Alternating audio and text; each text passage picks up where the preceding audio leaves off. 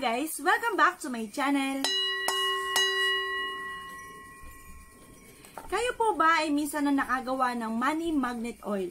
Ito po ang aking ituturo sa inyo ay hindi lamang pag-magnet ng pera. Ito po ay pangputol din ng kamalasan na inyo pong nararanasan sa ngayon. Maaring kaya po kayo po ay napakaganit ng swerte or napakaganit ng pera po sa inyo.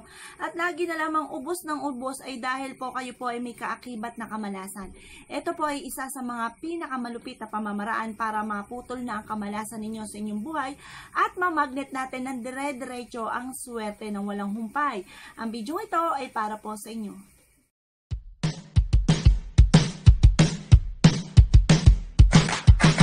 Today is gonna be a little something more. I've got a plan in mind, a special thing in store. The light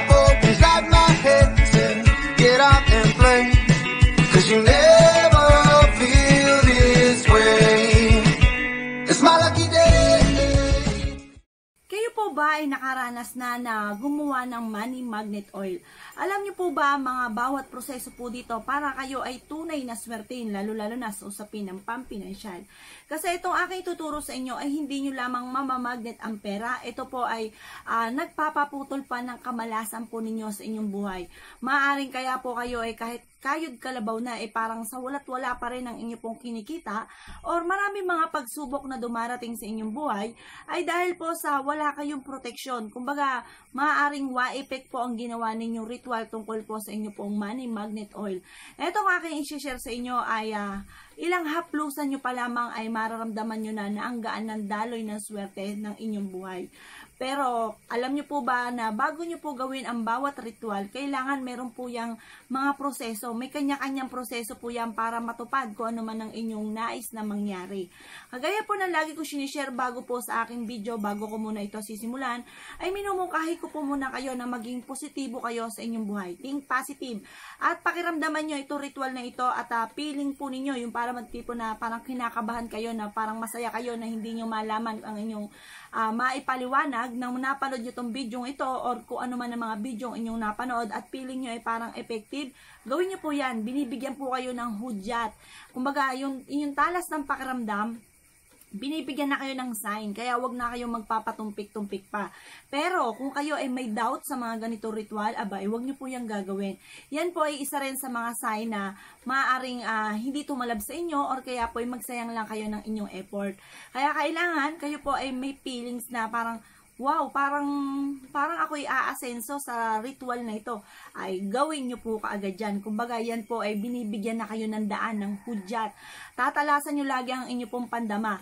Ang mga tao pong gumagawa ng ritual at may runong, yung tunay na may runong, ay uh, tinatalasan lamang po ang kanilang pandama at ganun din ang kanilang mata at ganun din ang talas ng tenga kung ano ang mga magaganap. Hindi po yung, kumbaga, hindi natin pairalin yung dak-dak-dak-dak kasi kailangan ang mga ganito ritual ay sikretong malupit at walang makakaalam.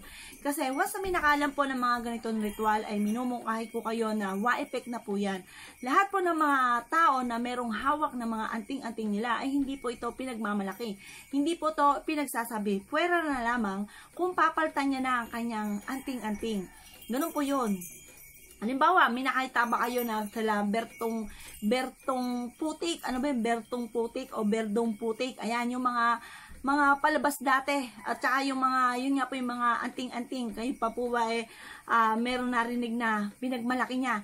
Malalaman lang ito na dahil naghihimala po siya. Yung tipo ba lang hindi tinatalba ng ng bala ng barel or kaya po ng kung ano man ng mga matatalim na ano yun yung mga tipong gano'n na hindi siya tinatalban doon lang malalaman na may anting-anting yung tao pero yung tipo na oy ito yung aking anting-anting wala pong gano'n kasi wa-epic po yan kapag ka may nakakaalam kaya kailangan ay pagaganahin natin ang ating pong siplak ang bibig. Ayan. Kumbaga, wag nating i-apply sa ating sarili yung kasabihan na ng agos ng tubig sa ilog ay kayang pigilan, ngunit ang ating bibig ay kahirap pigilan kukontrolin po natin. Kasi mahirap na po talagang ano halimbawa ikaw ay namamangka sa isang mga grupo ikaw yung kwento ng kwento ikaw ay patawa ng patawa. Pag napasarap ang kwento mo wala na. Naichika mo na kung ano yung mga sikreto. Ayan. Kaya kailangan ikaw yung tipo ng tao na marunong magtago ng sikreto. Hanggat maaari or talagang totally na siplak ang bibig at huwag po natin pagaganahin po yan. Once na ikaw ay gumagawa ng kahit anumang uri ng ritual. Ngayon, ganito po, basta lagi niyo po tatandaan, kailangan kayo po ay may paniniwala sa inyo pong gagawin ritual at uh, with feelings ang pagganap at uh, kailangan wala kasama ng loob kasi tayo po ay humihiling ng katuparan o pagbabago ng ating buhay. Kaya kailangan magaan ang inyong kalooban. Kapag kayo po eh maraming puot sa inyong kalooban, marami kayong hinanakit sa inyong puso na hindi kayo marunong magpatawad, at lagi kang si Troba, kang, kumbaga hindi ka makamove on sa mga nakaraan, ikaw po hindi aasenso at hindi matutupad ko ano man ang inyong ninanais. Tunay po yan. Marami na akong nasaksihan sa ganyan. Ngayon, meron din naman tao na sinasabi nila na ganun sila at hindi nila kayang magbago. Pero para sa akin, kung ikaw ay bilang isang magulang, pero lamang kung sarili mo lang iniintindi mo at wala kang, kahit ikaw eh hindi umasenso ay okay lamang. Pero kung ikaw ay isang magulang at meron kang mga anak, para sa mga anak mo, ay wala pong masama na ikaw ay magpapatawad. Kasi may, may naringgan din ako ng ganyan na walang magagawa yung nagkukwento sa kanya dahil ganun talaga siya. At ako nga po ay natamaan dyan dahil ganun daw talaga siya. Kumbaga, uh, wala na ako masabi. Siyempre, ganun siya eh. Ngayon, kung kayo po ay willing na umasenso ang buhay at alisin at magpatawad po kayo kasi ang mahal na Panginoon nga po ay marunong magpatawad, eh tayo pang tao lamang na nilikha niya. Di nga po. Kaya ako, ako po sa inyo ay, lalo-lalo na kung kayo ay may pamilya para sa inyong mga anak, ay kayo po ay tao sa inyong puso, kayo po ay magpatawad, humingi ng tawad, at kayo po ay alisin nyo ang mga puot sa inyong kalooban at uh, sinisigurado ko po sa inyo na ang gaan ng daloy ng swerte. Yung ba, tapos yung dire-diretso yung flow, tapos wala kang hinanakit, ang sarap matulog po ng ganon, wala kang intindihin. Ako nga po kapag ako'y naiinis, siyempre wala namang perpekto. Naiinis ka, tapos minsan may naiisip ka negative, inaalis ko po kaagad, kinukontra ko. Ay, hindi mangyayari yan. Marami akong proteksyon, may gabay ako ng mahal na Panginoon. Tapos, halimbawa, may naiisip ako, may nagagalit ako lagi akong ano, kumbaga dati-dati kinikimkim ko dito, pinagpapasensyahan ko na lang. O siya, sige, kung saan ka masaya, eh, doon ka, bahala ka. Or kaya po eh, hingi ko ng tawad sa mahal na Panginoon yung aking naisip or kaya po yung aking mga nasabi na masasakit. Ganon. Kumbaga, inunti-unti kong pagbabago. Marami po nakakilala sa akin na ako po yung tipo na mainitin ng ulo. Yung tipo ba na matindi ako magsasalita, talagang paggalit, galit talaga. Pero unti-unti ko po yung binago. At nung unti-unti ko po itong binago, nabago rin po ang takbo ng aking pamumuhay. Yun nga, hindi ako makapaniwala sa mga nagaganap sa amin. Kaya kung gusto nyo mabago din, lalo-lalo na kung kayo pamilyado, alang-alang sa inyong mga anak, bakit po hindi? gagaan ang daloy ng swerte sa ating buhay at uh, walang masakit sa dibdib. Mahirap po yung may kinikimkim na sama ng loob eh. Ngayon, para po magdire-diretso ang flow at lahat ng ating mga panalangin ay matupad, ganito po ang inyo pong gagawin.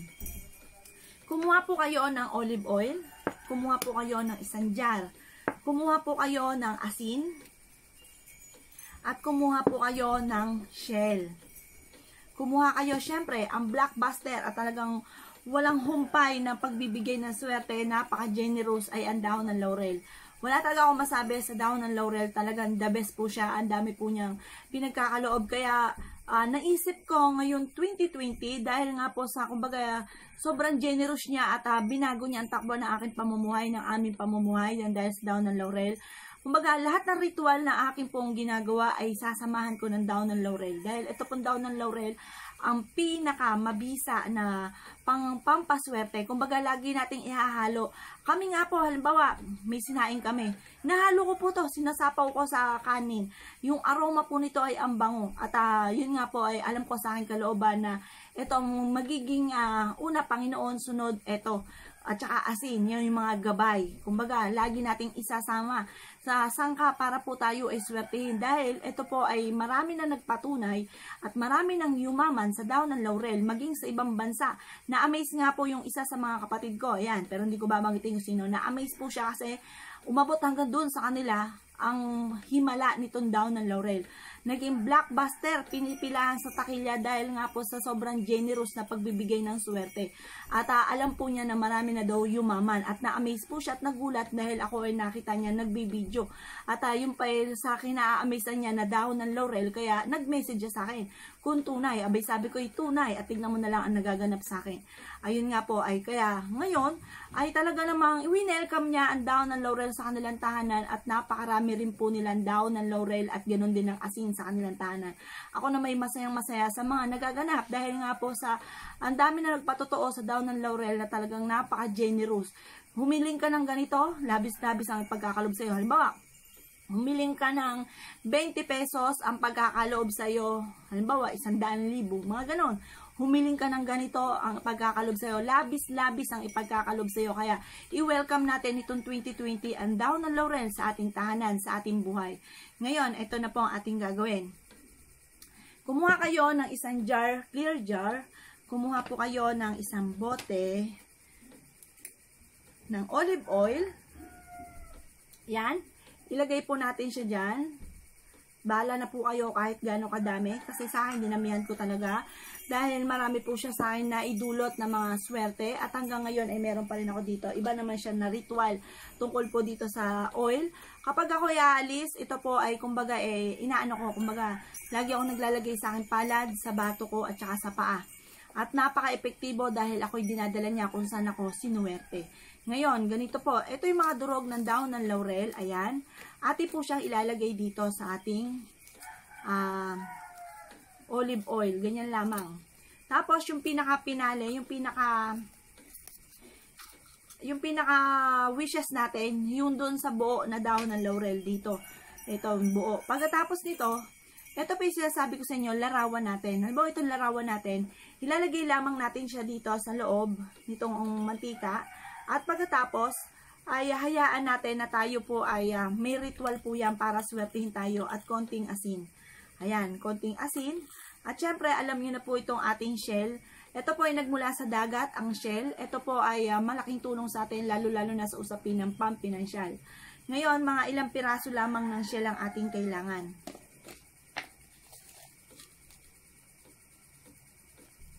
Ito shell, baka may nagtatanong po sa inyo at marami rin sa akin nag-message ko saan ko nabibili ang ganitong klase.